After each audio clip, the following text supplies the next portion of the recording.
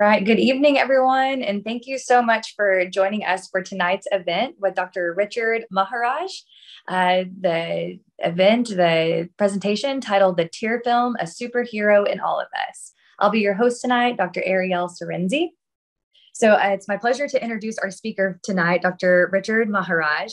He is the director of interventional dry eye services. And we were talking a little bit about his practice before this. And he has um, two practices in the vicinity of Toronto where he focuses on dry eye all day, every day. And that's 100% of his patients. So it's really awesome to hear from somebody that is just absolutely in the thick of it and specializes it. And we are so excited to learn from all of your expertise today. So I'm going to let you take it away. Thank you for thank you for joining us tonight. Well, thank you very much, Ariel. I appreciate the uh, the intro and going through the fun stuff about housekeeping. So, so tonight uh, we're taking off from, uh, I guess, the previous parts of the series. Uh, if anybody in the audience is a, a Marvel fan, you know, you kind of have to have seen all 10 Marvel movies before you can watch Endgame. I don't think that's necessarily the case with this lecture tonight. However, if you caught Dr. Madan and Dr. Eltis's uh, talk last week, some of the concepts that they discussed I will review and kind of uh, uh, go over very briefly, but I think it helps to have seen that. And if you haven't seen their uh, talk from last week, I think it would certainly uh, uh be worth a review because I echo some of the uh, info that they've gone through. So these are my disclosures that have already been listed in the previous slide. as it pertains to tonight, I don't have anything to fully disclose. So, really, what I want to go through over the course of the next uh, 50 minutes or so is um, just kind of understanding, you know, our current understanding of the tear film anatomy. And when I say current, I mean, you know, it really has evolved. And I want to kind of dive a little bit further into it. Um, and I also want to explore patient subtypes. So we all have our typical kind of dry patient that we have forged in our brain. Um, as it turns out, that there are sort of uh, different categories of patient subtypes that we can isolate and identify in our practices. And then what we're going to do is we're going to take certain treatment strategies and pair them with these different patient subtypes. So I really want to try to combine, you know, the evidence-based um, approach to the practical-based approach. I do, as as Ariel has mentioned, I do practice uh, purely in the ocular surface space. Um, I run the uh, Prime, uh, excuse me, the Prism uh, Dry Centers in the Toronto area, uh, and we are the largest provider of dry services in Canada. So we're fortunate to, and you know, lucky really to be able to manage um, this volume of dry eye. And uh, from that, I've, I've sort of gleaned a couple of things which I'd love to share with everybody here. So before we jump right in, I just want to kind of pose these these questions just to get your frame of mind uh, into the right uh, into the right zone. I want everybody to think about how do you approach managing dry eye, and what are your biggest challenges in general in this space.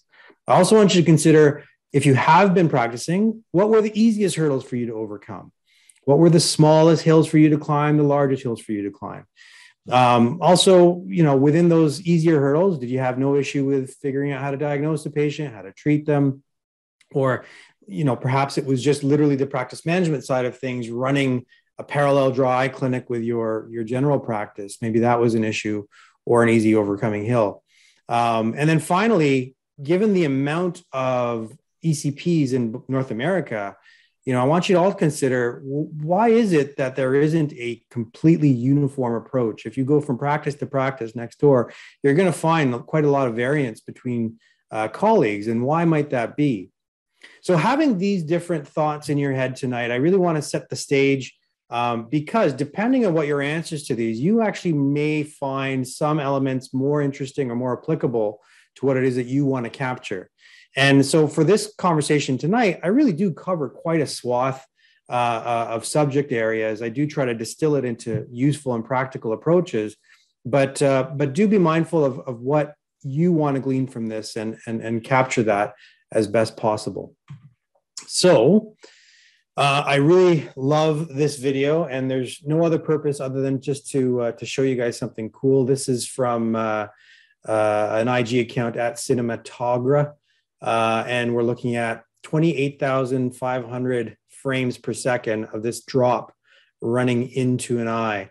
And you can really get a sense of how exquisite and and and fantastic it is to see how it actually stays on eye and how it's almost like you know watching uh, the parting of the Red Sea. Um, and it's this I love actually have this sometimes I show this to my patients when they say, "Did I get the drop in my eye?" And I can kind of show them, well, you probably did, but a lot of it splashes around there. So, what does this have to do with with with the modern ocular surface anatomy? So, we've all heard uh, at nauseum probably the different areas, excuse me, the different layers of the tear film, the mucin layer, the aqueous layer, and the lipid layer. And uh, I'll often repeat this to my patients um, and, and, and really kind of lay it out for them. In fact, I'll do this with every patient, whether they're new or old. And I'll remind them that there are these three distinct layers and they all have to work in perfect synchrony uh, in order for things to really work properly. So I'll talk to them about the fact that the mucin layer and the aqueous layer are actually interconnected as a mucoaqueous, and the mucin anchors that tear film onto the corneal surface, and then the lipid layer comes in and finishes it off by giving a nice slick top surface so that the rest of the tear doesn't evaporate. But I'll go even further, which is to jump into the fact that it's more complex than just a simple three layers of tears. In fact, there's over 2,000 molecules most recently that we know of um, that are in the tear film. And of those 2,000 molecules, a lot of those are, you know, proteins, metabolites, um, and, and biologically active growth factors like nerve growth factor, um, transforming growth factor beta, epidermal growth factor, to name a few. These are pretty critical. Transforming growth factor beta is responsible for maintaining clarity or wound healing. Nerve uh, growth factor is responsible for maintaining the integrity of the subbasal nerve plexus. Um, so we all have we have these sort of complex constituents, and it's very much akin to our bloodstream for the rest of our body. I explain to our patients that our cornea is avascular, and our tear film is basically our eye's local immunity. So we need to preserve that, we need to support it, and we need to continuously look after that. And it's only then when I paint that picture to a lot of my patients, they kind of take a step back and think, oh, wait, it's not just a teardrop that I need to put in my eye. What else do I need? And so they're sort of primed and ready for the rest of the consult. But I always set the stage with that message first. Um, now, pairing the structural components of the tear film anatomy, we also have the back office, right? What's the operating system look like? And that's the lacrimal functional unit. Okay. And so the LFU, which is the nervous system essentially, or the neurosensory component, which is controlling both the production and monitoring the outflow of tears at any given time. And it's through this combination of structure and function that we're able to get, like I said, this exquisite balance on the surface. In fact, it's almost a, a wonder that it even works at all. So, on the lacrimal functional side, we have our trigeminal parasympathetic nervous system, which is contributing to the regulation of homeostasis, regulation of that balance that we're trying to achieve on the surface. But then we also have the, the sympathetic pathways that modulate tear flow and, and composition. And a lot of that uh, sympathetic nervous system actually happens through the nasal cavity. So when we start to think about the breadth of, of uh, tear film control, uh, it becomes more obvious to the patient that, again, a simple a unitary uh, uh, solution just can't exist, or if it does exist, we just haven't found it yet. So we do have to look at these different factors. Further to that, when you put the structure and the function together, you come up with an immunological response. Okay. And so Dr. Periman, Laura, great friend of mine, a wonderful colleague, and just a hoot to learn from. Um, uh, her and, and Dr. Perez, Victor Perez, and Daniel Saban uh, and their group, they put together a wonderful paper in 2020, which I lean on heavily uh, and I love. And I think it really explains um, what may happen in a dry cycle. So we have an, a, a regulated adaptive response, uh, immune response, which essentially begins with some sort of triggering event that may be um, you know, a, a, contact lens in the eye, a, cosmetic exposure, uh, an infection, surgery, uh, you name it, some sort of triggering event that triggers the loss of homeostasis on the surface. And that triggering event will then result in amplification of the T cells, recruitment, and further reactivation of T cells. And if everything goes properly in the regulated adaptive system, there is a resolution to that, that problem. Uh, now, the resolution actually, there's an article that came out in Nature earlier this year that actually may point to uh, a class of proteins called resolvins, which may actually have a function there. The assumption that the immune response will resolve on its own may, in fact, be a false assumption. We'll wait and see what the science shows us.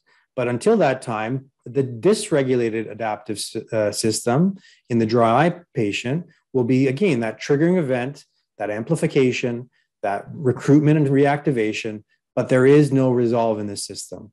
And unfortunately, without that resolve, the vicious circle of dry eye ensues.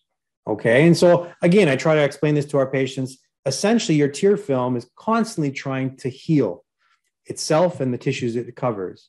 And if that healing mechanism is damaged in any way, then we have to figure out where those, those weaknesses may lie.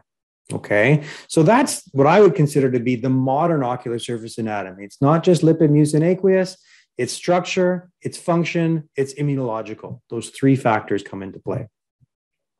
So let's look at these different uh, dry patient subtypes. Okay, so I am a, a superhero fan of the genre, big time. Uh, this is going back, but I'm using the Superman visual analog scale to describe uh, uh, the look on my patients' faces, depending on which group they fall into. So we have our episodic patient, our chronic patient, and our recalcitrant patient. So this is actually pulled from a what I think is a, a wonderful uh, uh supplement uh, in the CJO. This is from 2014, and it's very applicable even today. and breaking down our patients into these different categories. And so I'm going to jump into these categories. I'm going to talk about how we identify them and also suggest some treatment par- paradigms that, um, that really work well uh, in managing these cases. So the episodic patient. Okay. And so these are typically of a younger demographic, maybe under 24 in that younger zone. I'm certainly not 24, so this doesn't apply to me. I can say younger. Um, these patients may or may not be contact lens wearers.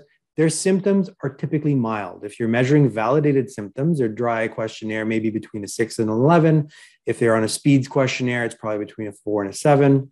Um, and again, these are these are sort of general windows. Don't stay within these goalposts. It, it's a it's a bit nuanced, but these are suggested windows. Their signs are again variable, but they're subtle.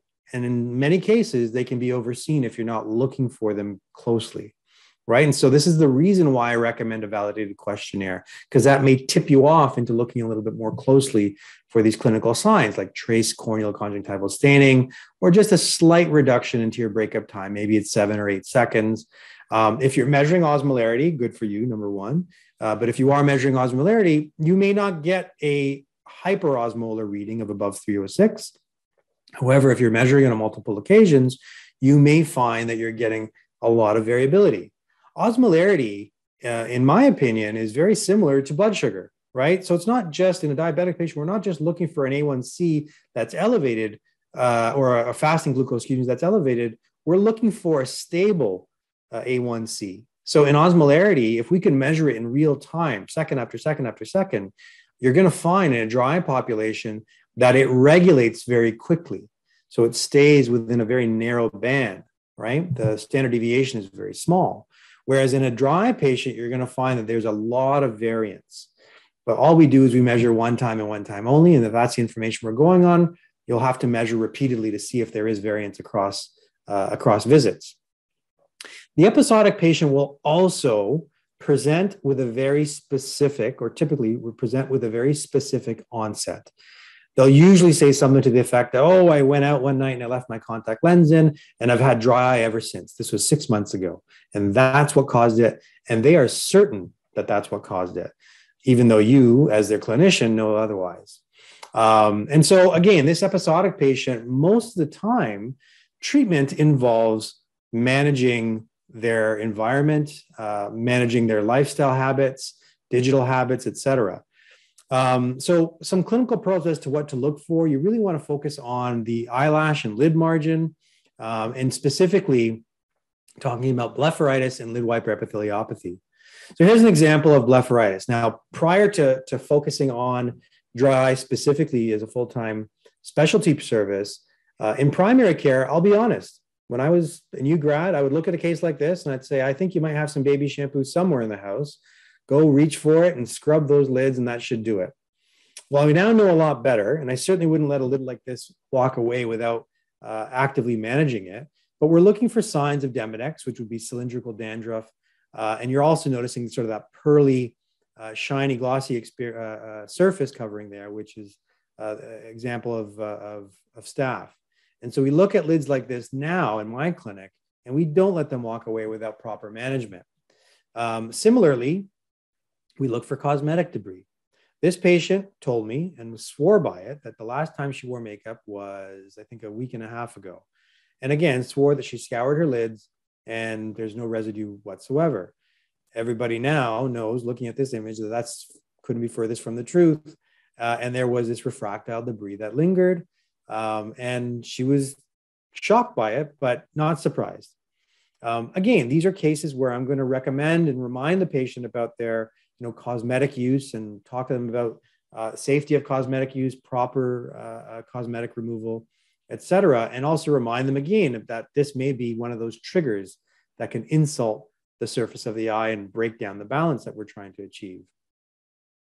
It's also important to stain and look at the interior. Okay, so what does the bulbar and palpebral conjunctiva look, look like? Specifically, the uh, just posterior to the line of Marx, the lid wiper uh, region on the palpebral conjunctiva, you're looking for that thick band of staining. So that thick band of staining represents lid wiper epitheliopathy. Um, and that is very commonly found in symptomatic contact lens wearers and about 80% of symptomatic contact lens wearers. It does uh, show up more so in younger populations with very, very tight lids. So if the anatomy is very tight, very taut, and they're a contact lens wearer, you're more likely to have some friction being induced, which will induce that lid wiper change. Similarly, in patients that have poor apposition and loose lids and poor, uh, uh, and, uh, poor elasticity, you're also going to notice that exposure may induce lid wiper. Regardless, the lid wiper region is adjacent to the meibomian gland orifice and to the soft tissue surrounding it, which are very sensitive to inflammation. So invariably, if we see these two findings, blepharitis or lid wiper, there's a very high probability that the meibomian glands are involved, or if they're not already, they're going to be soon. So these patients need some attention. So what kind of attention do we want to give them? Well, again, on the left-hand side of your screen, I've made some suggestions as to how to counsel them uh, and also how to triage them. But we also want to be mindful of any particular surgery that they may have had, uh, medications that they might be on, diuretics, antihistamines, uh, comorbid. In this population, they're younger, they're not likely to be on glaucoma drops, but that can be the case. But we're going to actively implement the treatment that is uh, preventative in nature. So we really want to focus on, in my opinion, non-preserved lubricants. And as the market has shifted, we really have a, a, a much wider range of non-preserved lubricants that is easily accessible for patients. In Canada, that's certainly been the case, and I know that there's a growing uh, number of those options in the United States. Hyaluronate is one of my favorite polysaccharides. It's a molecule that we use a lot as a hydrating agent on uh, skincare products. Well, much the same can be said of uh, hyaluronate on the eye. Not all hyaluronate are the same, and I'm going to talk about that in a moment. For lid hygiene, we want to focus on uh, not anti-infective, but more of an antiseptic approach. So we want to have tea tree oil based cleansers, which are effective at reducing staph and Demodex populations. Um, hypochlorous, which is again effective at being antibacterial. Um, and the newer classes of uh, anti-demodectal and antibacterial, uh, one such option is called Zocular, which contains an okra extract, which I'll touch on a little bit later. But these are excellent and very effective uh, therapies. Just one quick note about tea tree oil. I know that there have been some bench studies that have come out in the previous year looking at tea tree oil and its impact on meibomian gland cell uh, uh, in vitro. And I really uh, uh, would recommend, you know, exercising caution and in jumping on the tea tree oil is bad bandwagon because it's not actually the case that that study was uh, particularly focused on um, uh, lab work and it doesn't necessarily translate to what we see clinically. I've been using tea tree oil based products for over a decade, and I've yet to see a deleterious effect. Um, in the case where a patient is coming in, an episodic patient is coming in with a flare, we'll certainly have to reach for a steroid. Eysuvis in the United States is on label, um, but we may reach for in Canada other options. Um, if it's a mild case, 0.25 BID for two weeks, More moderate cases, we're going to go 0.5 BID for two weeks. Oftentimes, BID for two weeks is sufficient. Certainly, you can titrate that up should the need arise.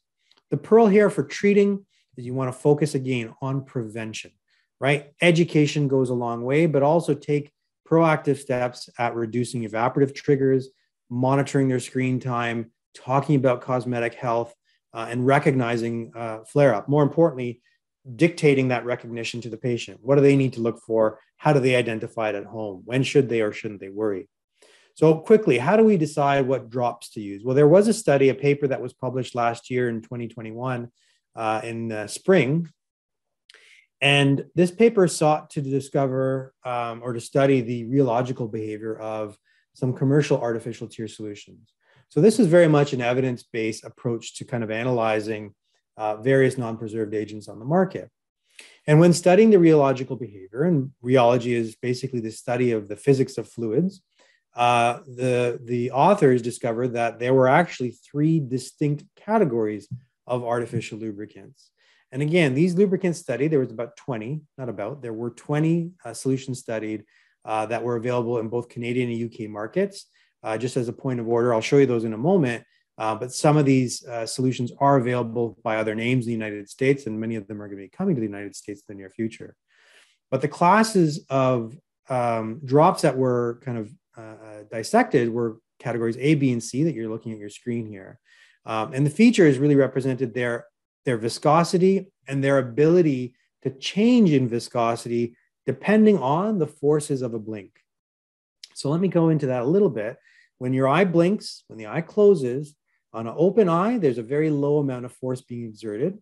As the eye begins to close, there's an increasing amount of force. We call that shear force that's being applied. And then finally, when the eye squeezes and closes and is about to open, maximum force is applied and then released. What we want on the eye is a solution that starts off with high viscosity, goes through what we call a shear thinning process where it becomes less and less viscous. Finally, it gets to its minimum viscosity. And then, most importantly, it snaps back to high viscosity. So, an example of a non Newtonian fluid like that would be cornstarch and water. If your kids, if you have kids and they make slime, chances are they're using cornstarch and water at some point. That is a non Newtonian fluid. Water is a Newtonian fluid. It has consistent viscosity regardless of the forces being applied. So those were the spectrums that were discovered. And you can see the, the uh, uh, distinct um, rheological profile of these various categories, category A, B, and C, figure one, two, and three, respectively. So that's how they behave when forces are applied. Well, how is this relevant for choosing an artificial tear? What does this mean? Well, what I discovered, and this is again over the last 10 years, by the way, if you're taking a screenshot, this is a good one because this dictates the uh, different categories that were uh, analyzed in the study. So when we look at our patients, whether they're evaporative or aqueous, and we know that the majority of them have an evaporative component, we can start to look at drops that mimic this rheological profile of the nature, natural tear. In fact, the lipid layer is highly non-Newtonian. It has that distinct curvature that I showed you in the graphs before. So we're more likely to reach for a drop found in category A. That being said, if we have a surface, an ocular surface that is irregular, maybe there's EBMD or there's conjunctival chalasis, or you name it, we're going to want one that has a rheological profile that is more like a Newtonian solution, that is more like water. So a flat line, that's more like a category C. As you would imagine that no patient is exactly the same as the other, and more often than not, we do need to mix and match. So how do we mix and match? What are some other considerations that we use in choosing these, these solutions? Well, trehalose. Trehalose is actually a, a disaccharide, and I love polysaccharides. Um, it's a disaccharide that is uh, found in non-mammalian species that have survived osmotically unfavorable environments for, for, gen- for decades. And um, it's through the vehicle of cell membrane modulation that trehalose in particular has its efficacy. So there's a number of papers. In fact, trehalose has been published uh, in DEWS 2 and, and, and, been published numerous times in its efficacy in uh, increasing the retention time of tear on eyes, decreasing uh, biomarker uh, concentrations on eye, and uh, certainly affecting uh, symptomatic patients statistically significant levels. In particular, one study that I kind of focus in on, um, demonstrated that after two months of treatment, um, there was also a significant impact on goblet cell density. And while I haven't stressed it enough, the goblet cells are really the unsung heroes of the tear film uh, and the tear system, I should say. I know that lipid layer and my meibomian gland dysfunction, you know, it's it's a sexy time of the day to talk about my meibomian gland dysfunction and all the different treatments. But the unsung heroes, the quiet, the quiet rumble in the background is coming from the goblet cells. And by reducing uh, uh, goblet cell density, we're actually taking away the infrastructure, the scaffolding of the tear film. So any solution that helps to preserve goblet cell function, I'm a huge fan of. So going back to the categories. So as I said, on the spectrum of dry eye, we know that it's not a binary solution as uh, Dr. Eltis and Dr. Madan talked about last session. We know that on this spectrum, as the patient tends more towards the evaporative component, I lean towards a category A. As they tend towards an uh, aqueous component, I tend to lean towards a category uh, C. Now, when we're thinking about biochemical considerations, the more inflammatory signs I see on the eye, and that can be MMP9, osmolarity, uh, corneal or conjunctival staining, the more likely I'm going to reach for a drop that contains a polysaccharide, like Trehalose or Thealoz Duo, for instance, in Canada. Um, and it's this consideration that I'm just going to pause on for a moment because I'm, I guarantee that there is at least one person, perhaps many, of the 1600 or so that are online that has reached for lifitegrast and Restasis to manage a dry patient. You've prescribed two medicines. What I would suggest is why is it that we think that there should be one single agent lubricant that we're going to recommend to our patient? We know the complexity of the tear film. We're not trying to replicate it. What we're trying to do is to support it. And so I do argue in favor of multiple options for, for patients that require it. So if we're seeing inflammation and high evaporative stress, I might actually reach for uh, a category A and a category C solution. I do think that there's a lot more information to be gleaned from our artificial lubricants. And I certainly think that, you know, a, a, call to manufacturers to share some of this information in terms of viscosity, in terms of molecular weight, in terms of pH, in terms of osmolarity of their solutions, so that we as clinicians can make smarter and smarter selection solutions, uh, selection, excuse me, instead of reaching into our drawer and grabbing the nearest sample. At this point, we really do want to raise the bar of uh, lubricant selection. Okay, so let's go on to the chronic patient now. The chronic patient will present typically of a more seasoned age group. This is my age group. I'm turning 45 in a few days. So I'm in this category here. I do also have dry eye. So, you know, that's two for two right there. These patients may or may also uh, not be contact lens wearers. And generally speaking, females uh, outpace the males in this category. Uh, their symptoms are typically more consistent. Again, mild symptoms, but definitely more consistent, as are their signs. So their signs are more obvious. Uh, corneal and conjunctival staining, if you're looking for it, will be found. That perilimbal or that superior bulbar area is an area to focus on uh, for conjunctival staining. Tear breakup is usually more obviously reduced, usually less than five seconds. If you have meibography in your office, you're very often going to see structural and morphological changes. And Osmo is more consistently over that 306 mark. Uh, and MMP9, if you're measuring it, is more likely to be positive. So these are the kind of the clinical features that you're going to see. Again, special attention to that superior bulbar region and extremely important to diagnostically express the meibomian glands of the inferior margin. Those are easiest to access, the quickest to do. Um, but if you're just looking at the margin, looking for a plug, you're not doing it justice. Okay. So this superior lid margin here, uh, excuse me, the superior conjunctival area, uh, as well as superior cornea, it is a goblet cell rich zone. This is where the goblet cells go to party and hopefully don't go to die. But if they are dying, you need to figure it out. Uh, and it's these cases where if I haven't measured MMP9, I'm certainly going to reach for a uh, polysaccharide based uh, hyaluronate and uh, Trehalose being one of those one such uh, drop that I would reach for. It's also in these cases that I might be more inclined to reach for a steroid as well to calm it down quickly and very likely reach for an immunomodulator. Again, if you're looking quickly and you might be missing some symptoms, don't forget a Wratten filter will reveal what you might be missing. Okay. So the value of a Wratten filter to enhance contrast cannot be underestimated. That may take a patient from looking like an episodic patient to an obvious chronic one. Okay. And so, what about my uh, meibomian gland expression? So, a lot of people kind of have this assumption that until it becomes toothpaste like inspissation, it's not true MGD. And that again couldn't be further from the truth. What we're looking at in this video here is you're actually seeing the meibum that's being released, and you're seeing tiny meibum spherules that have been released from the orifice. So I just palpated and we're just seeing it spread over. So my recommendation is after diagnostic expression, have the patient blink and blink a few times and really focus on the cornea. You're looking at the refractile nature of that tear film, looking for inconsistencies that may demonstrate precipitates. Even the smallest obstruction in that system uh, may represent a potential firm fixed obstruction. Looking at meibography, when we're analyzing these patients, it's important to identify features that are consistent with shortening of the gland, which may suggest obstruction. But one feature that's um, sometimes controversial is something called periductal fibrosis. So, Steve Maskin, who invented the Maskin probes, uh, probing has again been kind of circled around with controversy. Um, and I think the evidence is quite clear that it does have and serve a purpose. We look for evidence of periductal fibrosis, which is essentially a fibrotic band that may pinch either distal or proximal within the gland structure. And so, what we're actually looking at in this image here is an example of that, right? We're seeing an area where the gland has been pinched off, and that is resulting in a firm fixed obstruction. If you palpate this lid, the patient will likely wince and pull back. That's a feature of periductal obstruction. The only thing that will, resi- will relieve that periductal obstruction or, or uh, fibrosis is uh, um, uh, intraductal probing.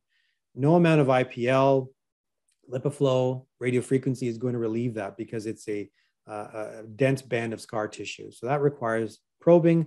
I will say though, probing is not something that I would recommend to do on every single patient. It does require some training uh, and comfort with, with doing it. It's a delicate procedure, but it does have a benefit. Finally, when analyzing meibography, the other thing to consider is which is better in these images, one or two. When I do this lecture in front of a live audience, I always ask which set of glands here would you prefer to have, better one or better two? invariably I get the majority of hands going up in the air saying better one. And I think the audience would probably suggest the same here. However, these images were taken a year apart and the length of the gland and the amount of truncation that we're seeing are identical. As it turns out, the image on the bottom just has more lid everted. It's also flatter. So we're seeing more tissue, which not necessarily that has been more atrophy. And it's this feature that I think we really need to be careful when we're discussing with our patients their findings of meibography, number one. And number two, we also need to be careful about the promise of gland rejuvenation. The evidence hasn't been clear in the least that gland rejuvenation is predictable or even possible. We have had reported anecdotal cases, and I have had the same, but I think that may also reflect uh, a limitation of meibography in and of itself. We don't know what we don't know. We do know that infrared lighting will penetrate at different depths depending on the amount of water in a tissue, depending on the hyperemia, the pigmentation of a patient. There's a lot of variables that will affect the imaging quality and the response that we're getting, the signal that we're getting. So I always tell my docs that we're teaching and my students, you know, we do, I love to lean on it as an education tool. I don't like it as a marker of disease progression. So really, you know, kind of be objective and, and, in, and monitoring your meibography. So let's bring it back to that chronic patient. How do we treat them? In office eyelid hygiene. So these are patients where I'm going to bring back for microblepharoexfoliation. I love the Zocular system. I'll talk about that in a moment, but it is a polysaccharide based system, as you probably have figured out by now. I've given up my, my love for polysaccharides. Um, in the absence of Zocular, there's still microblepharoexfoliation rotary tools like BlephEx or AB Max. Again, these are cases I mentioned uh, where immunomodulators do uh, uh, make a lot of sense. These patients are in a chronic inflammatory spiral, so they're, they're likely going to need um, some regulation there through lifitegrast or cyclosporine. In office treatments, whether they're thermal, radiofrequency, or light based treatments like IPL. I list IPL here because IPL is a very comprehensive tool. Uh, it exerts an anti inflammatory and a thrombo, uh, photothrombolytic effect, as well as an anti infective or anti demodectal, antibacterial impact. Uh, and there is some evidence to suggest that there is a photo, photobiomodulatory effect as well. My protocol is typically a four treatment protocol. I'm not going into detail on photobiomodulation and, and IPL tonight. I really do want to focus on just big picture, um, giving you some practical tips. Um, but if you need more information on that, Dr. Laura Periman is a wonderful resource. Dry Master, if you look at her YouTube channel, she's got some great information there. Treatment pearls, we do want to be interventional in this uh, uh, approach, right? We want to take an interventional eyelid management approach. We do not want to be reactive. Uh, we know that dry eye is a multifactorial disease. It makes zero sense that we would have a, uh, a singular response, a silver bullet. We do need a multimodal approach to treating this and an interventional one at that. So, a quick tidbit about Zocular Zocular is actually an okra extract. So, okra is a vegetable. I love fried okra. Um, if you're from the West Indies, you'll know that.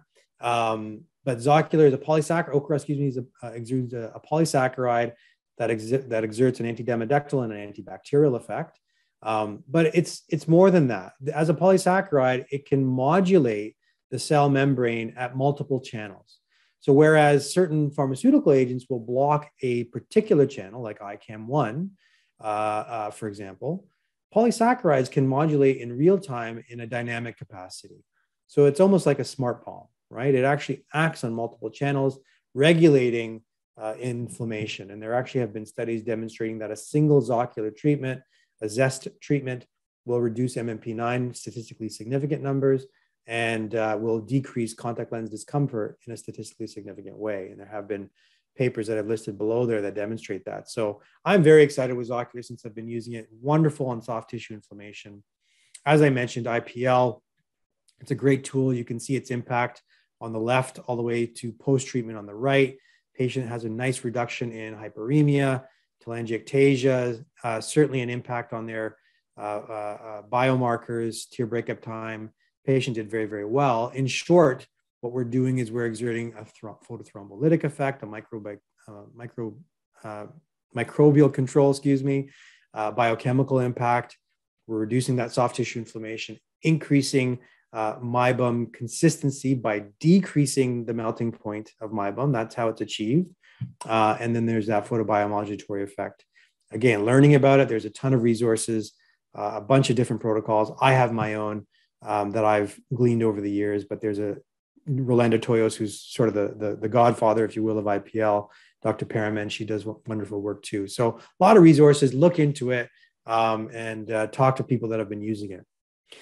Finally, the recalcitrant patient. This is the patient who, if I, as I say it, you'll, you'll probably think of one or two of them off the top of your head. Uh, being in the institute that we are in, we do get a large number of these patients, unfortunately, um, and they are very recognizable. They are they're they're sort of an archetype. This patient may or may not be over 65, but generally they're of a, an older persuasion. Um, and they usually have comorbid diseases, systemic conditions like Sjogren's, rheumatoid. Maybe they've had a history of surgery and multiple meds. Um, their symptom scores are certainly uh, uh, higher and more elevated in many cases, uh, unless they're of the, of the neurotrophic component, which I'll talk about in a minute.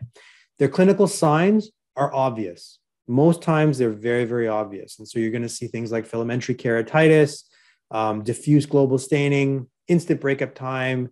Their meibomian glands are, are nubs or they're just squirting uh, um, toothpaste. So it's not necessarily a difficult thing to diagnose. Um, there are some caveats to that because the recalcitrant patient may be extremely symptomatic and have very obvious signs, but they also may have very obvious signs and poor symptoms. Uh, sorry, and, and great symptoms. So those would be neurotrophic patients. So there's two different varieties here. And I guess the point to make here is that, you know, the signs that you're looking at may be severe, the symptoms may be severe, but these are patients where you really want to dive a little bit further into their mental health. And oftentimes that's where the answers lie. These are patients that typically have a high amount of anxiety and depression um, because of they've been living with this disease and it's affected and impacted their quality of life. So history, I would say, in these cases, is the most important data point that you're collecting. So, what does the evidence say about this base? Well, patient base, typically, um, we know that the longer that dry eye or any chronic disease for that matter exists, the more impact it's going to have and the harder it's going to be to treat. With ocular surface disease, the more impact on the corneal and nociceptive pathways uh, invariably this will contribute to an increasing gap between signs and symptoms. And that may be in both directions. So signs may increase and symptoms may go down in the neurotrophic patient, or signs may decrease and symptoms may go up in the neuropathic patient. And both of these can happen uh, for different reasons. Again, going back to the archetype, these patients typically have mental health uh, concerns. They're dealing with anxiety, depression, mood disorders, neuroticism. So I do think that it's important to tie in your other healthcare professionals that might be able to assist in pain management, mental health uh, management, because we are not psychologists, we're not pain doctors. We do need to know where our weaknesses and strengths are and lean into those. And where those strengths are is treating the ocular surface and treating the elements that contribute to pain if it's neuropath- neuropathic. Dr. Madan did a great job at uh, revisiting this at the last talk um, blood biologics, so autologous serum and platelet rich plasma. Um, and again, these are important features to consider. A challenge with some of these blood products uh, and is access. And in Canada, I can speak to that. Access isn't global. It's a little bit more challenging to come by. It is easier to obtain autologous serum than it is platelet rich plasma or platelet rich growth factor. Um, having said that, I know that in the United States, there are compounding services that will reach out to community to patients in their community and arrange for blood draws and preparation of these drops, which is wonderful. The key difference between autologous serum and platelet rich is autologous serum or ACED, as I referred to it, is post clotted blood. The blood is allowed to clot, separated, and the serum is used to prepare the solution mixed with saline. With platelet rich plasma, the clotting is prevented and the platelets are used in a particular high concentration of growth factors uh, after centrifuge. And so the difference essentially is that with platelet rich, you are getting a very concentrated uh, uh, solution of growth factors that is not diluted and that is activated. Whereas with autologous serum, you're getting a variable concentration of growth factors that is diluted. So there's a bit more known when it comes to platelet rich plasma. The challenge with both of them is that there is no consistent uh, preparation protocol and no consistent product that you can compare one to the other. So to be able to compare one to the other and to say that ACED or platelet rich is better than the other, at this point, because of the variability across um, uh, preparation techniques, it's it's not really a well uh, studied or understood uh, method. Uh, that being said, there are studies that are undergoing right now. There's there's one that was recently published um, that demonstrated the impact on multiple uh, chronic uh, ocular surface diseases, uh, the impact of PRGF, demonstrating a significant impact on reducing disease severity across the board, in addition to symptom severity. There's also been evidence to support PRP for uh, neuropathic pain because it impacts the subbasal nerve plexus. And so, for patients that have peripherally induced neuropathic pain, obviously scleral contact lenses may be an option, amniotic membrane may be an option, but it might be helpful to also think about including PRP for these patients. The pearl in these cases is really to set expectations. There's not going to be a silver bullet here. In fact, what we're looking in most of these cases of advanced complex disease is to try to slow down progression and hopefully to regain uh, uh, uh, some function and improve quality of life. I always encourage pain management. And as I mentioned before, mental health management needs to be part of the puzzle uh, because ultimately these patients are going to have a bumpy road ahead. Uh, and it's not something that uh, we should be taking lightly. This is an example. This is actually one of my favorite patients who uh, actually passed away uh, not too long ago, about three weeks ago. And she showed up to my clinic uh, fortuitously on a day where the Raptors, that's right, the Toronto Raptors, won the NBA championships. And so I dubbed her the Raptor keratopathy patient because it really gave me that Raptor feel. Maybe I was just looking for it because I was all hyped up. But regardless, I saw claws tracking through and that looked like a raptor to me. Uh, anyways, so she shows up. She's secondary Sjogren's, um, dense filamentary keratitis, aqueous deficient, meibomian gland dysfunction, rosacea. She had it. This was a patient where we started her on autologous serum, 40% QID, and followed her by managing, uh, sorry, by managing with autologous serum and complementing that with meibomian gland care using IPL uh, and uh, Zocular for microblepharoexfoliation. Exfoliation.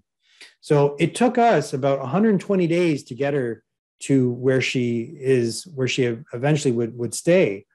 But that rehabilitation, and I put it to her this way this is going to take some rehab. That rehabilitation process was long and arduous, but we got through it. And we got through it because we set expectations up front. She did pass away last uh, uh, three weeks ago, and it was sad to see her, but she was at her best when it happened.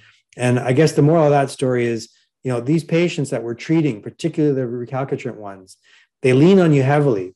Uh, and they become some of the most rewarding cases that you'll manage. And I, I can say that doing this for as long as I have, it uh, it's never been more rewarding.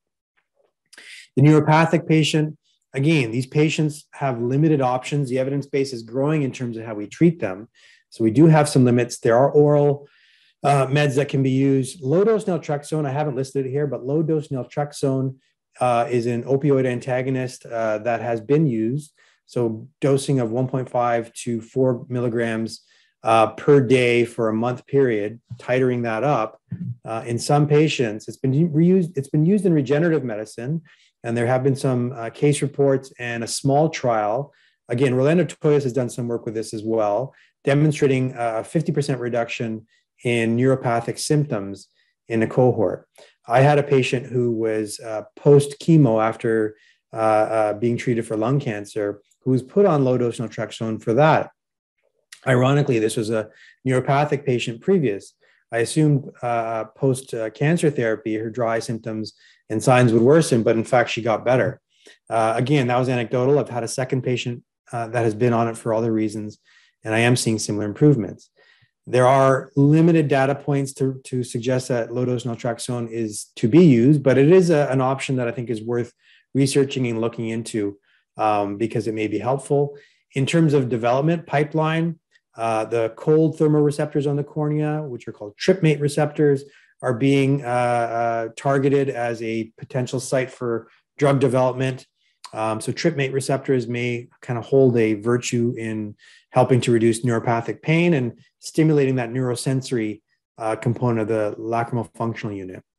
I think one of the things that I want to dispel here in terms of myths, you know, we think that pain patients need to always be a 10 out of 10 pain.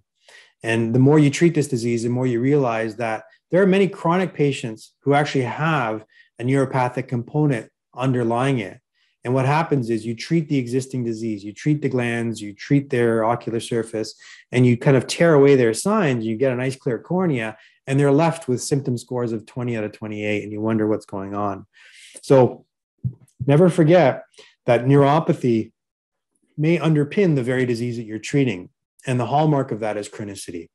Okay. And so always keep in mind that uh, uh anesthesiometry is a useful tool if you have access to it. But even in the absence of that, following their validated symptoms and looking for variances can be a feature and also looking at their mental health. Okay. So, circling it all back, that episodic patient whose signs and symptoms are periodic, they're transient, and they tend to be exacerbated by environmental, lifestyle, and evaporative triggers. Uh, the chronic patient, their signs and symptoms are a bit more consistent, uh, and they're typically underpinned by chronic inflammation. These patients are typically at some point episodic and they transition over to the chronic pathway. So, our jobs as clinicians is to really identify them as soon as we can to prevent that transition.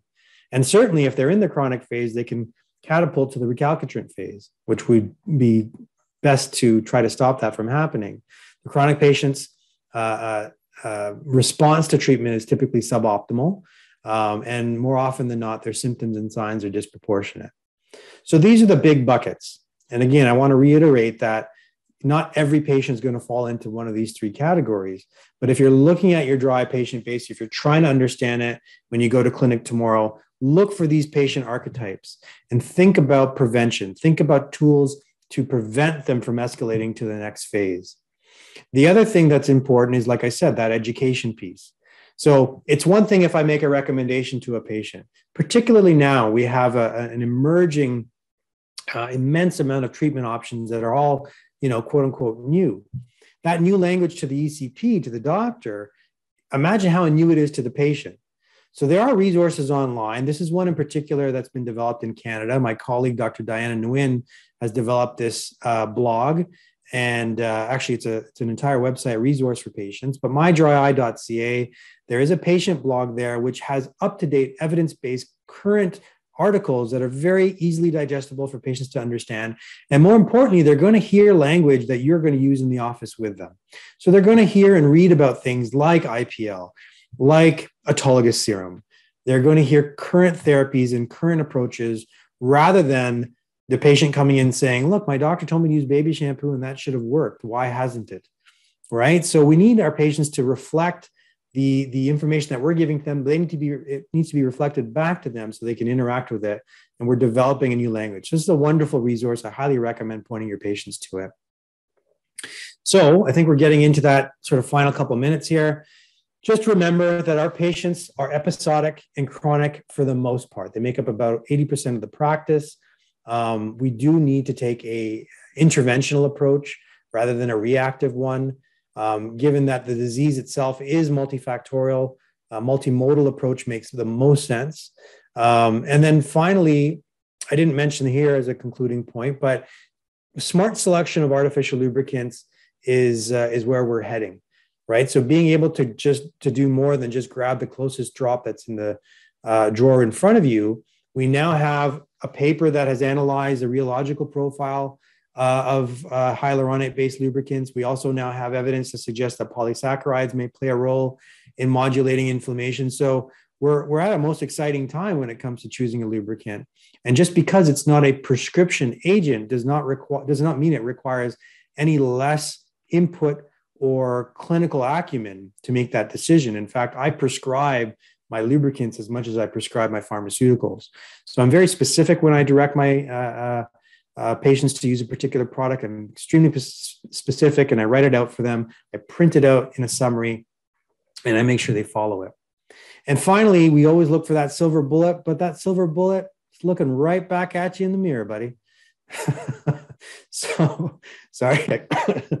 um, that silver bullet is very much the dry specialist. It's you, it's me, it's all of us, and we're all working towards a common end. So, so good luck, and uh, you know I can always be found on uh, IG at dry.i.jedi. And um, I really uh, hope that everybody takes a little bit of something tonight and, uh, and takes it back to their practices. And I'd love to hear any questions that you guys may have. Awesome. Thank you so much for that, that great presentation. It was so good and your graphics were on point. Thanks.